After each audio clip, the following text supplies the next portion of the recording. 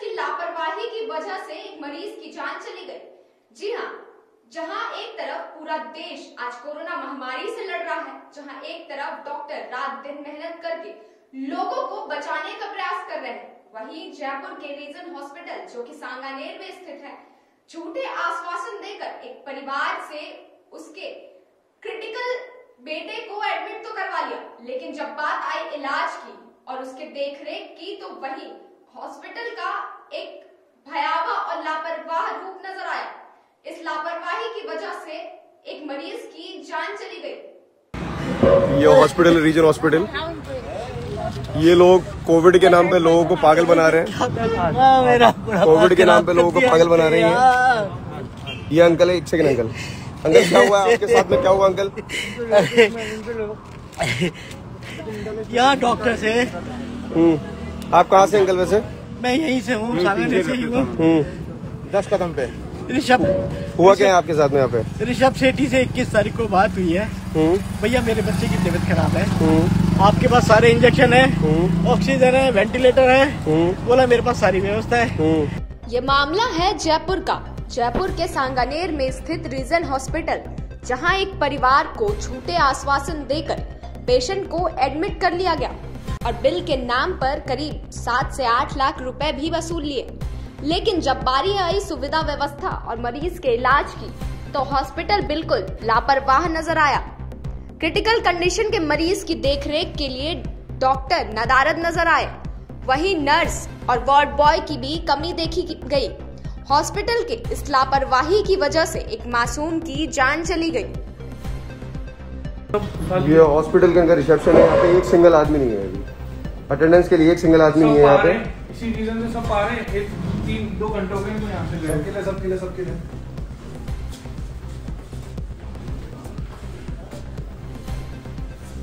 ये हालत है यहाँ के सांगने के हॉस्पिटल की। जो अपने आपको टॉप क्लास के ये रेस्टोरेंट करने के लिए लैंडलाइन से फ़ोन मिलाने के लिए कहा तो बोलते हैं फ़ोन डेड है। एक सिंगल डॉक्टर नहीं है कोई इमरजेंसी डॉक्टर नहीं है रिसेप्शन पे एक सिंगल आदमी नहीं है अटेंडेंस के लिए। डॉक्टर को कहा लैंडलाइन से फ़ोन करो फ़ोन हमारा नहीं उठा रहा लैंडलाइन से बोला फ़ोन उठाने के लिए. तो लैंडलाइन डेड पड़ा है। आओ।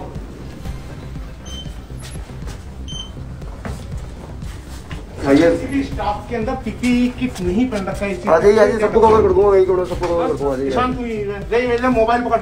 नहीं कोई दिक्कत नहीं सारा बताओ ना इनके थाने में कंप्लेंट करेंगे पीपीई किट किसी भी स्टाफ के अंदर नहीं है ना तो रिसेप्शन पे है ना अंदर जो कोविड वार्ड के अंदर जो लग रहे हैं उनके पास पास पीपी किट नहीं है। और कोई। सवाल नहीं है। पीपी किट अगर करोना है तो पीपी किट कहाँ है? मास्क की नीचे उतार के बात कर रहे हैं। मास्क भी मास्क उतार के बात कर रहे हैं। चलो ये देखो ये हॉस्पिटल की हालत तो देखो। ये और अब ये बोल रहे हैं कि इनका पेशेंट नहीं रहा है इस पूरे मामले की और जानकारी देने के लिए हमारे साथ जुड़ रहे हैं जिन्होंने कल ये वीडियो बनाई थी और वीडियो बनाकर समाज को ये सच्चाई से अवगत कराया था जी हाँ हमारे साथ जुड़ रहे हैं एडवोकेट सचिन सैनी आइए जानते हैं उनसे कि क्या है ये पूरा मामला।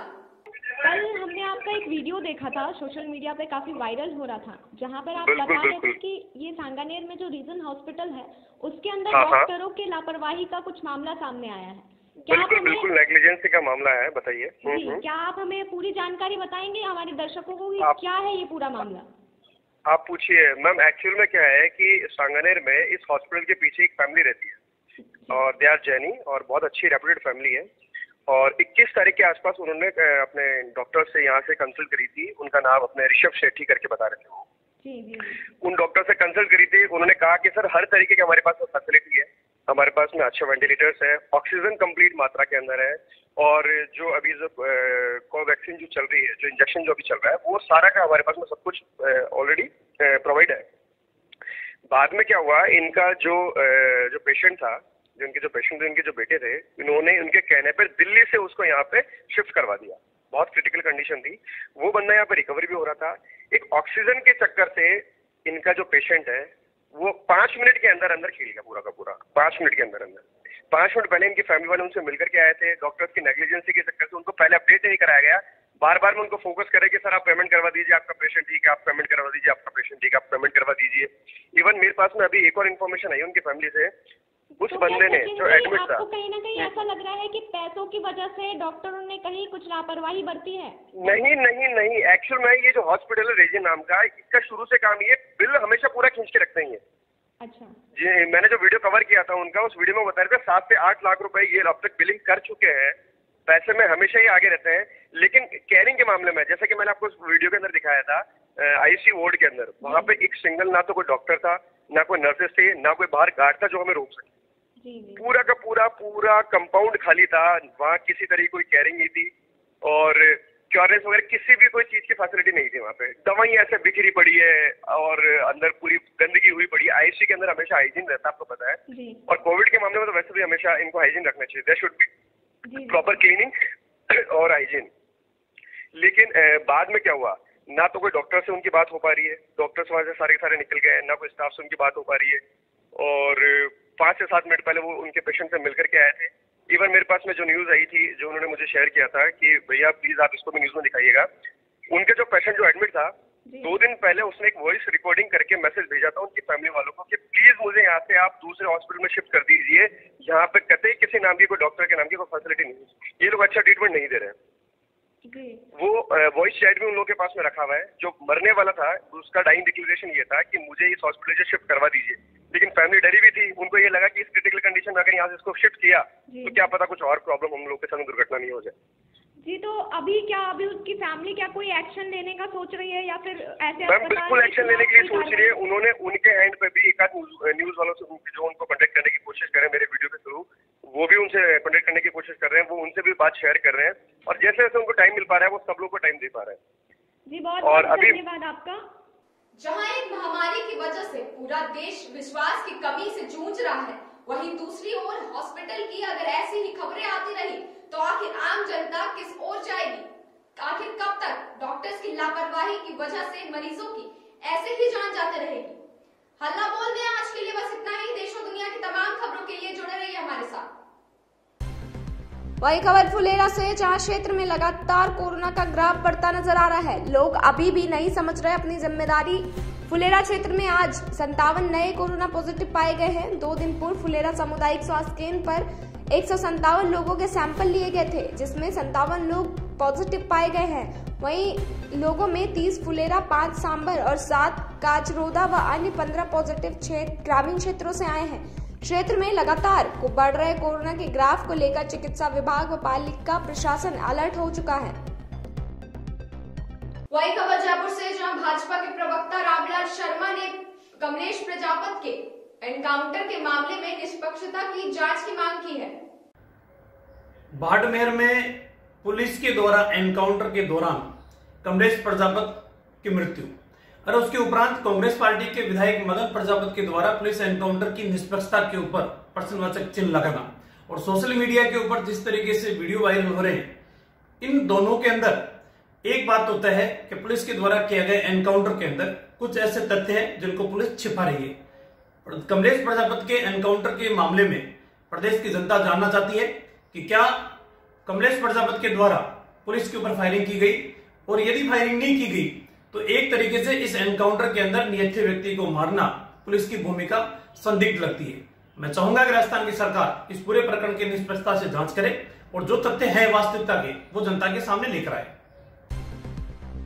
वही खबर लालसोट से आ रही है, जहाँ कोविड सैंपलिंग पर फर्जी मामला सामने आया है। आपको बता दें कि युवक के नाम और मोबाइल का गलत यूज़ कर रैपिड एंटीजन टेस्ट कर युवक के मोबाइल पर मैसेज आया। मैसेज में युवक के मोबाइल पर सुरक्षा मानकों का पालन करने की हिदायत भी दी गई। वही मैसेज के आते ही युवक ने अपना मानसिक संतुलन खो दिया। दौसा ज़िले के उपखंड मुख्यालय रामगढ़ पछवाड़ा का ये मामला बताया जा रहा है, जहाँ युवक विनोद कुमार गौतम के मोबाइल पर रैपिड एंटीजन टेस्ट का मैसेज आया। रामगढ़ पचवाड़ा निवासी विनोद कुमार गौतम का कहना है कि मैंने करवाया ही नहीं है rapid antigen test rapid antigen test की इस फर्जी रिपोर्ट से लगता है कि कोविड सैंपलिंग के नाम पर ये बड़ा फर्जीवाड़ा चल रहा है। युवक विनोद कुमार गौतम ने लालसोट ब्लॉक मुख्य चिकित्सा अधिकारी धीरज कुमार शर्मा को ये जानकारी दी है और वहीं उसने बताया कि ब्लॉक मुख्य चिकित्सा अधिकारी धीरज शर्मा ने पीड़ित युवक से कहा कि दौसा ज़िले में ही नहीं होता rapid antigen test corona sampling के नाम पर आखिर कौन कर रहा है? ये घिनौनी हरकत। रैपिड एंटीजन टेस्ट के नाम पर कई लोग ठगी के शिकार तो नहीं हो रहे इस टेस्ट का यह मामला सरकार और चिकित्सा विभाग पर बड़ा सवालिया निशान खड़ा करता है। पीड़ित युवक इस फर्जी मामले की जाँच करने की मांग कर रहा है। क्या मामला है? मामला यह है rapid antigen sample collected dear Vinod Kumar Gautam का मेरे पंजीकृत मोबाइल नंबर पर मेरे पास एक मैसेज आया? जो कि जबकि मैंने ऐसा कोई कोविड का सैंपल कहीं पे भी नहीं दे रखा है, जबकि मेरे नाम का और मोबाइल नंबर का गलत दुरुपयोग हुआ है। इस बाबत मैंने बीसीएमएचओ धीरज शर्मा को सूचना दी तो उन्होंने बताया कि मामला गंभीर है। Rapid rapid antigen test Dausa ज़िले में कहीं भी नहीं होता है। ब्लड के सैंपल के द्वारा किया जाता है। अतः आप एक एप्लीकेशन दे, हम डिपार्टमेंट को चिट्ठी लिखेंगे। मामला गंभीर मानते हुए इन्होंने हिदायत दी कि आप दिए गए नियमों का पालन करें। परंतु मैंने कहा कि कोई सैंपल नहीं लिया गया है। और ये फर्जीवाड़ा है इसका मुझे पता नहीं है। या दुरुपयोग है यदि वो व्यक्ति पॉजिटिव आ जाता है तो उसको कार ट्रेस किया जाएगा और ट्रेसिंग मेरी की जाएगी तो मेरे साथ मानसिक आघात पहुँचा है इस स्थिति में मुझे क्या करना चाहिए कुछ सूझ नहीं पा रहा है। ये मैसेज कब आया आपके पास? ये मैसेज मेरे पास कल आया मेरे नाम से मेरे पंजीकृत मोबाइल नंबर पर आया जिसकी रजिस्ट्रेशन आईडी भी आई है। दिनांक 24 अप्रैल 2021 को शाम को सात बजकर बीस मिनट पर लिया गया है। उसके बाद में अधिकारियों ने क्या कहा आपसे? अधिकारी ने मेरे से ये कहा कि मामला गंभीर है, आप एक एप्लीकेशन दे, मुझे इस पर निश्चित ही कार्रवाई की जाएगी। ऐसे बिना किसी आईडी के कोई टेस्ट नहीं लिया जा सकता और दौसा ज़िले में ऐसा टेस्ट भी संभव नहीं है। ये ज़्यादातर रेलवे स्टेशन एयरपोर्ट ऐसी भीड़ भाड़ वाली जगहों पर लिया जाता है, जो कि हमारे दौसा ज़िले में कहीं भी नहीं होता है। रैपिड एंटीजन जो टेस्ट का जो मैसेज आया है, इसकी आड़ में कोई खेल तो नहीं खेल रहा? इस बात को मैं नहीं मान सकता कि खेल हो रहा है नहीं हो रहा है पर मुझे मानसिक आघात पहुँचा है। कि मान लीजिए वो व्यक्ति अगर पॉजिटिव आ जाता है तो ट्रेसिंग तो मेरी होगी उस व्यक्ति को कहाँ ढूंढोगे जो हज़ारों व्यक्तियों को संक्रमित कर सकता है?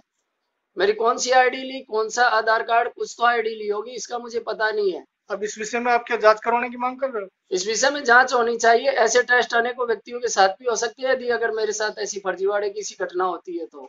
वही खबर धौलपुर से आ रही है, जहाँ कोविड गाइडलाइन की पालना न करने के विरुद्ध में प्रशासन ने कड़ी कार्रवाई की है। लोगों पर जुर्माने भी लगाए हैं। ज़िले में कोविड 19 प्रोटोकॉल की पालना में दिन रात लगाई गई नाकाबंदी में गाइडलाइन का उल्लंघन करने वालों के विरुद्ध विगत 24 घंटों में 407 कार्रवाई कर अस्सी हज़ार से भी ज़्यादा जुर्माना वसूला गया है। और 138 वाहनों को जब्त किया गया है। पुलिस अधीक्षक केसर सिंह शेखावत के नेतृत्व में धौलपुर पुलिस ने पिछले 24 घंटों में ज़िले भर में मास्क नहीं लगाने पर 41 व्यक्तियों पर बीस हज़ार पाँच सौ सार्वजनिक स्थानों पर थूकने पर 24 व्यक्तियों से 4800 और सोशल डिस्टेंसिंग की पालना न करने पर 301 व्यक्तियों पर इकतीस हज़ार रूपए का जुर्माना वसूला गया है। इसी प्रकार इस दौरान एमवी एक्ट के छिहत्तर चालान व 138 वाहनों को जब्त करते हुए पच्चीस हज़ार से ज़्यादा का जुर्माना वसूल किया गया है। वहीं पुलिस अधीक्षक केशर सिंह शेखावत ने कोरोना महामारी के बढ़ते प्रकोप को देखते हुए जिला पुलिस को सख्त कार्रवाई करने के निर्देश जारी किए हैं। वही खबर सिकराय से आ रही है, जहाँ सिकराय के कालवन गाँव में बाड़ाबाज ढाणी निवासी विजय मीणा लहरी मीणा के घर के पास बिजली के तार टूटने से दो छप्परों में आग लग गई। जी आपको बता दें कि जिससे काफ़ी नुकसान हुआ है, उसमें दो भैंस जल गई चारपाई जल गई और भैंसों का चारा भी जल गया। कुछ घरेलू सामान एवं बर्तन जलकर राख हो गए। ग्रामीणों की मदद से आग पर काबू पाया गया और अन्य जानवरों को सुरक्षित स्थान पर बंधवाया गया।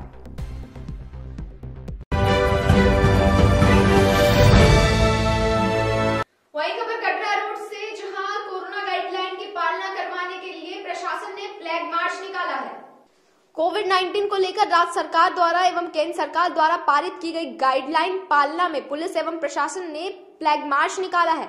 पश्चिमी राजस्थान के अंतर्राष्ट्रीय सीमा से सटे बाड़मेर ज़िले के उपखंड गडरा रोड कस्बे में कोविड 19 के बढ़ते क्रेज को लेकर स्थानीय प्रशासन एवं पुलिस सक्रिय रूप से फ्लैग मार्च कर आम जनता से समझाइश कर रही है कि वह अपने घरों में रहकर इस महामारी से बचाव करे। इतना ही नहीं, गडरा रोल तहसीलदार सवई सिंह उज्जवल गडरा रोड थाना अधिकारी ओम प्रकाश जांगू, मैं पुलिस जाप्ता गश्त द्वारा फ्लैग मार्च कर गडरा रोड की आम जनता से अपील की जा रही है कि कोई बढ़ते संख्या में आमजन से बचाव के लिए एक ही उपाय है, बिना वजह बाहर न घूमे। अपने घरों में रहकर कोविड 19 से बचाव करें। वहीं गडरा रोड उपखंड अधिकारी सुनील पवार के निर्देशानुसार गडरा रोड कस्बे में 11 बजे के बाद किसी प्रकार का आवागमन बंद है तथा अपने घरों में रहने के लिए पुलिस एवं प्रशासन द्वारा समय समय पर सजग रहकर अपील की जा रही है। वही खबर लाल सोट से आ रही है, जहाँ गाइडलाइन का उल्लंघन करने पर रामगढ़ पचवारा में हार्डवेयर की एक दुकान को सील कर दिया गया है। पचवारा एसडीएम सरिता मल्होत्रा की कार्रवाई से मार्केट में खलबली मच गई है, जहाँ कोरोना की गाइडलाइन का उल्लंघन करने वाली हार्डवेयर मोटर पर पाँच हज़ार रूपए का अर्थदंड लगाया गया है। वहीं एसडीएम सरिता मल्होत्रा ने आगामी आदेश तक हार्डवेयर की दुकान को सील कर दिया है। एसडीएम के दस्ते ने जन अनुशासन पखवाड़े के दौरान मार्केट में मॉनिटरिंग की व दस्ते को मार्केट में घुसते ही अनाधिकृत दुकानों में खलबली मच गई।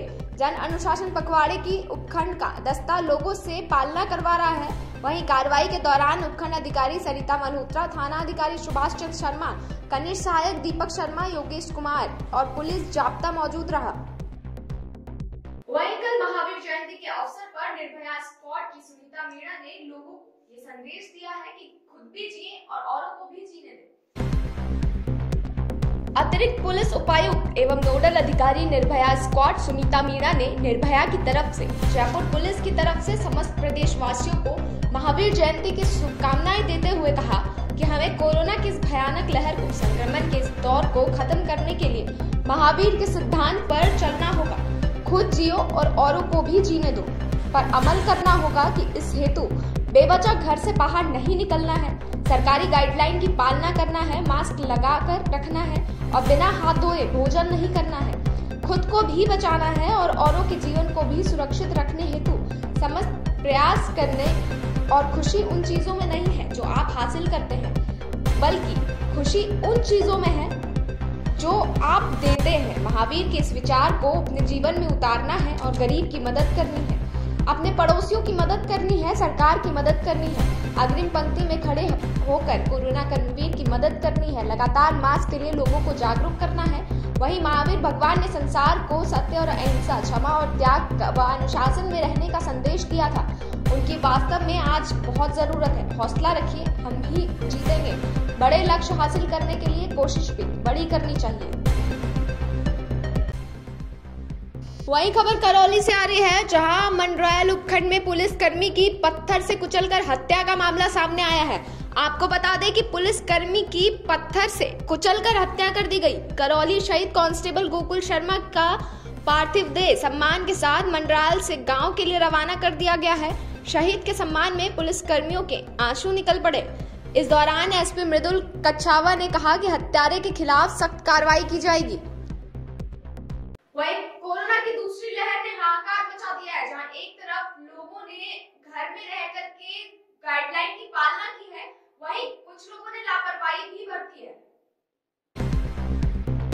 कोरोना की लहर ने हाहाकार मचा दिया है। सुबह का समय, हर व्यक्ति अपनी ज़रूरत का राशन पानी के लिए घर से निकलने डरते डरते निकलते हैं, फिर भी सड़क पर आवाजाही रहती है। शाम के समय सड़कों पर सन्नाटा पसर जाता है। दूसरी तरफ़ पुलिस प्रशासन भी जनता को सख्ती से आने जाने पर रोकती नज़र आती है।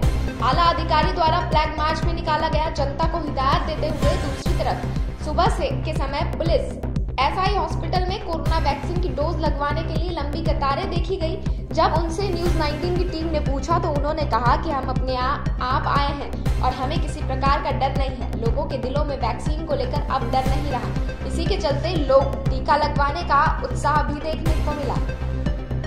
इंजेक्शन लगवाने के लिए बैठी और इंजेक्शन लगाने के लिए बैठी। तो आपको कोई डर वर सा लग रहा है? कुछ घबराहट है? तो होता ही लेकिन करना तो पड़ेगा।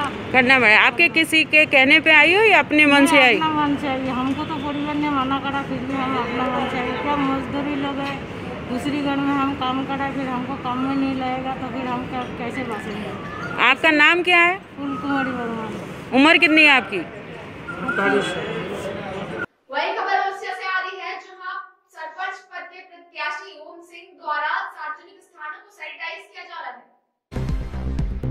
प्रदेश में कोरोना वायरस के बढ़ते मामलों को देखते हुए ओसिया कस्बे में ओसिया सरपंच प्रतिनिधि ओम सिंह भाटी ने कस्बे के अलग अलग इलाकों में जाकर घरों व सार्वजनिक स्थानों को सैनिटाइज करवाया है। रविवार को सरपंच प्रतिनिधि ओम सिंह भाटी के नेतृत्व में पुराना बाज़ार, न्यू बस स्टैंड व तहसील रोड तक घरों व सार्वजनिक स्थानों को हाइपोक्लोराइड व मच्छर मारने की दवा का मिश्रण कर अग्निशमन वाहन द्वारा छिड़काव किया गया।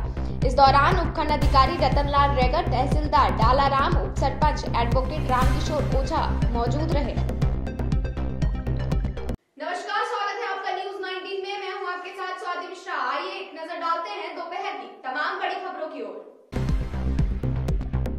देश भर में एक मई से 18 वर्ष के ऊपर की उम्र के लोगों के लिए अब कोरोना वैक्सीनेशन शुरू किया जाएगा। देश में अन्य राज्यों की तरह राजस्थान सरकार ने भी निशुल्क टीकाकरण की घोषणा की है। इस पर करीब तीन हज़ार करोड़ रुपए का व्यय होगा। लेकिन राजस्थान में इससे एक मई से शुरू होने पर संशय के बादल छाए हुए हैं। राजस्थान में 15 मई के बाद ही शुरू होने के आसार हैं। राजस्थान में 18 वर्ष के ऊपर के लोगों को निशुल्क टीकाकरण की घोषणा के बाद राज्य के चिकित्सा विभाग के अधिकारी ने सेरम इंस्टीट्यूट से टीके के लिए बातचीत की। इसके पता चला कि अभी उनके पास वैक्सीन उपलब्ध नहीं है। सेरम इंस्टीट्यूट इस समय केंद्र सरकार के साथ हुए कमिटमेंट को भी 15 मई तक पूरा नहीं कर पा रहा है। इस स्थिति में 18 वर्ष से 45 वर्ष की आयु वर्ग को प्रदेश में वैक्सीनेट करने का कार्य सीरम इंस्टीट्यूट की ओर से राजस्थान को वैक्सीन उपलब्ध करवाने पर ही निर्भर करता है। प्रदेश में कोरोना की दूसरी लहर कहर बरपा रही है। संक्रमित मरीजों की लगातार संख्या बढ़ने से अस्पतालों में इंतज़ाम लड़खड़ाने लगे हैं।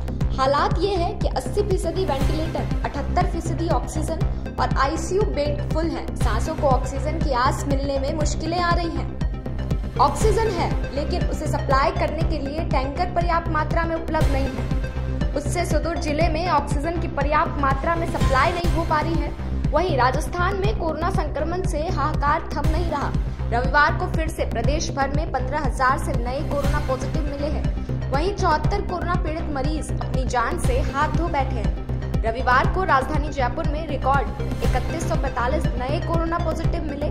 वहीं जोधपुर में 1400 से अधिक अलवर में 1300, उदयपुर में 1100, कोटे में 701 और वहीं पाली में 600 से अधिक सवाई माधोपुर में 609 नए केसेस आए हैं। मौतों का आंकड़ा भी डरावना ही चल रहा है। रविवार को जयपुर में तेरह जोधपुर में बारह कोटा में सात पाली में छह, उदयपुर में आठ और सीकर व बीकानेर में पाँच पाँच मरीजों की मौत हो गई। पिछले दो दिन से बंद शराब की दुकानों के खुलने का इंतज़ार कर रहे शराब प्रेमियों को सोमवार को झटका लगा है। शराब ठेका संचालकों ने राज्य सरकार की नई गाइडलाइन का विरोध करते हुए सोमवार को भी दुकानों को नहीं खोला। इससे शराब लेने के लिए सुबह सुबह दुकानों पर पहुँचे लोगों को खाली हाथ लौटना पड़ा। हालाँकि दूसरी तरफ़ ठेकेदारों का कहना है कि सरकार ने शराब की दुकानों के खुलने का जो वक्त निर्धारित किया है, उस समय शराब की बिक्री नहीं होती। सुबह सुबह शराब लेने के लिए कौन आएगा? ऊपर से ठेकेदारों को दुकान खोलने पर अपने टारगेट के मुताबिक सरकार को रेवेन्यू भी देना पड़ेगा। दरअसल सरकार के पिछले दिनों नई गाइडलाइन जारी की गई है, जिसमें शराब की दुकानों को सुबह छह से ग्यारह तक खोलने का आदेश जारी किया है। सर... सरकार के लिए शराब रेवेन्यू का एक बड़ा स्रोत है। सरकार ने इस फैसले से शराब कारोबारी नाखुश हैं। राज लेकर वेलफेयर सोसाइटी के अध्यक्ष नीलेश मेवाड़ा ने बताया कि सरकार ने जो समय दिया है, उससे सरकार ने अपने रेवेन्यू को सेव कर लिया। लेकिन हमारे लिए समस्या खड़ी कर दी है। हमें गारंटी शर्त के तहत निर्धारित रेवेन्यू देना पड़ेगा। जबकि सुबह कुछ बिक्री नहीं होती। मेवाड़ा ने बताया कि हम सरकार को आज पत्र भेजकर मांग करेंगे कि हमें गारंटी शर्त के तहत या तो छूट प्रदान करें, क्योंकि इस बार लाइसेंस फ़ी की बजाय ड्यूटी देनी पड़ेगी। ये ड्यूटी सभी टैक्स मिला के पचास प्रतिशत तक है। उदाहरण के तौर पर कोई शराब का ठेका एक करोड़ रुपए मूल्य में नीलाम हुआ है तो संचालक को बारह महीने में इतनी राशि के मूल्य की शराब डिपो से खरीद कर बेचनी पड़ती है। और इसकी ड्यूटी सरकार को देनी पड़ती है। हम सरकार से मांग करेंगे कि अगर सरकार गारंटी शर्त में छूट दे तो अच्छा है। राजस्थान में आज सोमवार से इमरजेंसी को छोड़ निजी वाहन में एक ज़िले से दूसरे ज़िले में आवाजाही बंद कर दी गई है। सभी जिलों की सीमाओं पर बॉर्डर सील कर दिए गए हैं। वहीं सार्वजनिक परिवहन के अलावा निजी वाहनों को ज़िले से बाहर जाने पर रोक लगा दी गई है। गृह विभाग के निजी वाहनों पर लगाई गई बंदिश के कई सवाल खड़े हो रहे हैं। नई गाइडलाइन में रोडवेज़ और निजी बसों में आधी सीटों पर यात्रियों को बैठने की अनुमति है। लेकिन निजी वाहन ज़िले से बाहर नहीं जा सकते। ऐसे में जनता सरकार से सवाल पूछ रही है कि आखिर हम ज़्यादा सुरक्षित अपने निजी वाहन में या बसों में हैं या ज़्यादा भीड़ होगी? संक्रमण का डर ज़्यादा होगा। या अव्यवहारिक है? डॉक्टर्स का भी यही कहना है कि बस की अपेक्षा निजी वाहन अधिक सेफ़ है। भरतपुर दौसा की सीमा में होते हुए मेदिनीपुर बालाजी पहुँचे। प्रेम सिंह ने कहा कि मैं अपने पैतृक गाँव से आसपास से आ रहा था, लेकिन महवा पुलिस ने उनके वाहन को दौसा में प्रवेश नहीं करने दिया। पारिवारिक परिस्थितियों का हवाला देने के बाद बड़ी मुश्किल से प्रवेश किया है। गृह विभाग के नई गाइडलाइन को लेकर कई सवाल खड़े हो रहे हैं। वहीं जयपुर दौसा के बीच बस चलाने वाले वाहन चालक कमलेश मीणा ने बताया कि सरकार का यही आदेश अव्यवहारिक तथा आमजन को परेशान करने वाला है। मैं निजी वाहन से पत्नी के साथ शादी समारोह में शामिल होने के लिए करौली जाना चाहता हूँ, लेकिन पुलिस ने मुझे दौसा की सीमा में प्रवेश नहीं करने दिया। आज के इस रिपोर्ट में बस इतना ही। देश और दुनिया की तमाम खबरों के लिए बने रहिए न्यूज़ 19 के साथ।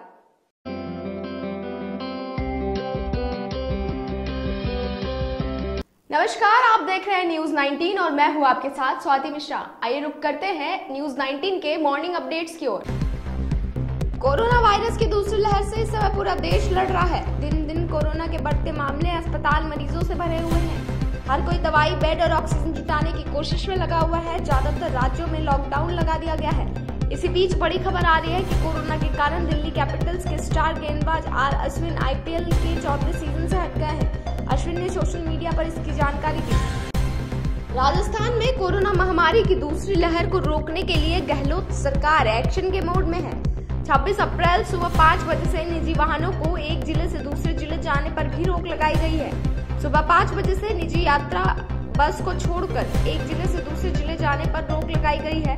निजी वाहनों को केवल इमरजेंसी अत्यावश्यक सेवाओं के लिए ही ड्राइवर के साथ 50 प्रतिशत क्षमता तक की अनुमति होगी। राजस्थान में कोरोना की दूसरी लहर घातक बनती जा रही है। इसका प्रसार रोकने के लिए राजस्थान गृह विभाग ने 23 अप्रैल को नई गाइडलाइन जारी की है। आज यानी 26 अप्रैल सुबह पाँच बजे से प्रभावी हो गई है। कोरोना संक्रमितों को छत्तीसगढ़ की भिलाई इस्पात संयंत्र योजना, दो सौ पैंसठ टन मेडिकल ऑक्सीजन का उत्पादन कर रहा है। ऐसे वक्त में भिलाई इस्पात संयंत्र के कर्मचारी हड़ताल पर चले गए थे। इसके बाद टूल डाउन कर आंदोलन करने वाले कर्मचारियों के खिलाफ प्रबंधन द्वारा कड़ी कार्रवाई की गई है। प्रबंधन के अनुसार कुछ कार्मिकों ने एस टी जी चार के कंट्रोल रूम के अंदर घुसकर स्टीम टर्बो जनरेटर चार इकाई का पूरा ऑक्सीजन ज़बरदस्ती बंद कर दिया था। बॉयलर प्रेशर बढ़ाए जाने की वजह से steam turbo generator shut down हो गया था। इसके साथ ही सेफ्टी वॉल खुल गए थे। इसके कारण 25.5 मेगावाट पावर जनरेशन बंद हो गया। एसटीजी चार के बंद होने के बाद ऑक्सीजन प्लांट में बिजली आपूर्ति ठप हो जाती, लेकिन समय रहते उचित कदम उठा लिया गया। पश्चिम बंगाल में वामपंथी दल मुकाबला करने के मूड में दिख रहे हैं। बीते कुछ सालों में त्रिपुरा और बंगाल खो चुके वाम दल के पास फ़िलहाल सिर्फ़ केरल में सरकार है। हाल ही में यहाँ भी विधानसभा के चुनाव संपन्न हुए हैं और कांग्रेस सत्ता छीनने की फिराक में है। बंगाल में वाम दलों की गिरावट में बहुत तेज़ी रही।